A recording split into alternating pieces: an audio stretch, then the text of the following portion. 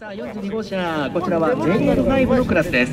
ダンロップガレージ積年シカソニックラブカヤリスドライバーは松倉拓郎選手。コドライバーは山田真実は北海道出身の選手といいましょうかねあの鹿との接触を音で軽減するシカソニックという商品を販売を北海道でされてると。いうそんなドライバーなんですよね。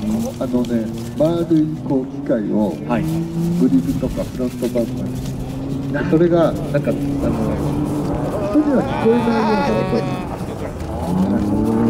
本当に北海道では鹿が飛び込んでくるんだってね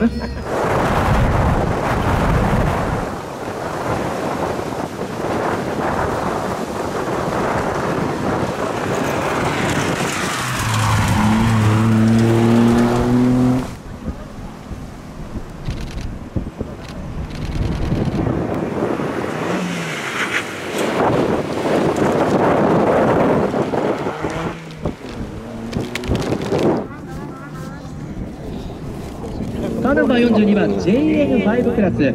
ダンロップガレージ積年シカソニックラブカーヤリス。ドライバーは松倉拓郎選手。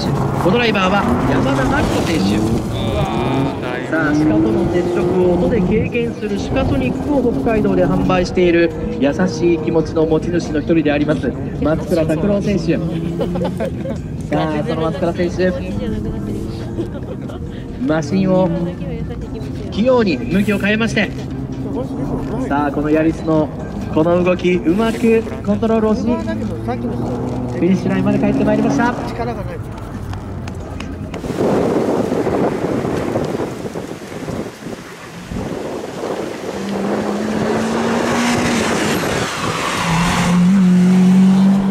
お来たぞいいだ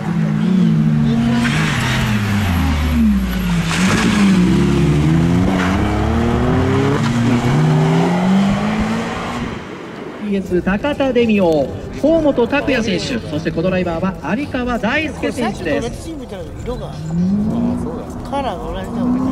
さあ TWR は北欧ワークスレーシングの略。OTS 高田デミオ。さあ河本拓也選手が攻めていく。細かい残りの2つのコーナー。こまず1つ目。そして2つ目。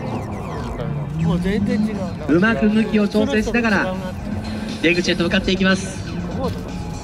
さあアウト側ここはしっかりとグリップ。細かいラインを描いて。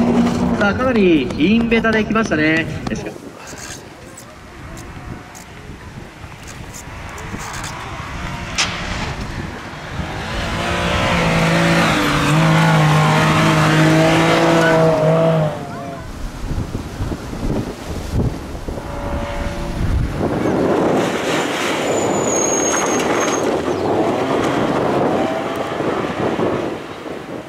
スアイシン GR ヤリス CVT ドライバーは大倉聡選手コドライバーは豊田浩二選手です。さあアイシン関係の方も非常に多く来られていらっしゃるのではないでしょうか。さあトヨタとともにですねこの愛知県代表するそんな企業でございます。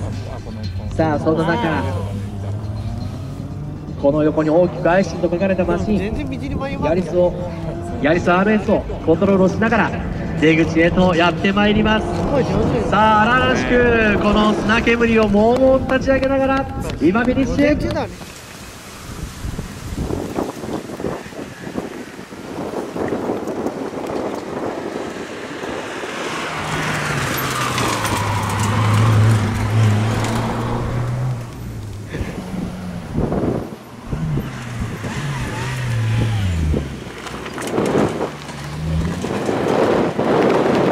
カーナンバー55 JN5 クラス M スポーツデミオ。ドライバーは伊藤里奈選手。コドライバーは松浦敏郎選手です。さあ伊藤里奈選手もさまざまな、ね、カテゴリーに出ているというお話をしましたけれども午前中。2022年ではねスーパー耐久レースでも5クラスのシリーズチャンピオンも獲得をしている。そんなドライバーでもありますよね。いや舗装された路面もそしてこのようなダート路面もですね何のその素晴らしい走りを披露していきます。さあこの車両のサイドには M と置き書かれたその車両をコントロールをしてフィニッシュラインを通過をしていきました。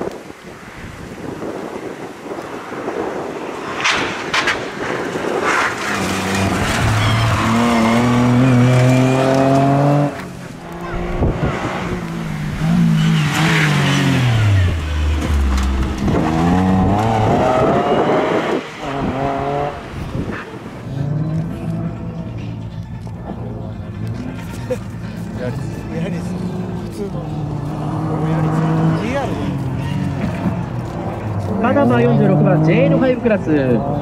テイクスターナップワコーズブリックヤリス。ドライバーは浜野健二選手。コドライバーは酒井智之選手です。さあ昨年 JN5 のクラスではシリーズ5位に輝いておりますけれども。さあ鎌野健二選手そして酒井智之選手。ギリギリ今戻しましたね。さあフィニッシュラインに帰ってまいりました。